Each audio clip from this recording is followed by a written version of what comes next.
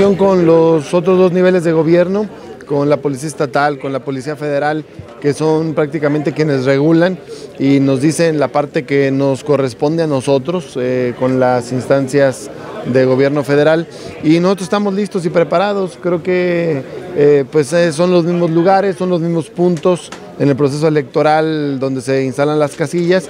Y nosotros esperamos que más allá del tema de la vigilancia haya un proceso electoral muy abierto, muy transparente, que no haya ningún conflicto. Hasta hoy lo que hemos visto nosotros es que las cosas están tranquilas, sin ningún problema aparente. Sin embargo, pues hay que estar, mantener la vigilancia, pero creo que la ciudadanía puede estar tranquila de poder salir el día 7 de junio a emitir el voto por quien ellos hayan considerado, quien los haya convencido con sus propuestas y salir de manera eh, libre a poder decidir el rumbo de la Cámara de Diputados a nivel federal. Las descalificaciones entre partidos no inhibirá lo que es la votación de la gente.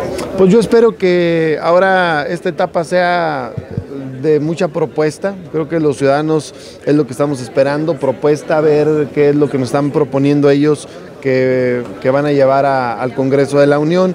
Y bueno, las descalificaciones siempre llevarán a la polarización, a la división. Yo creo que México y Durango requieren ahorita en este momento de mucho diálogo, de mucha participación.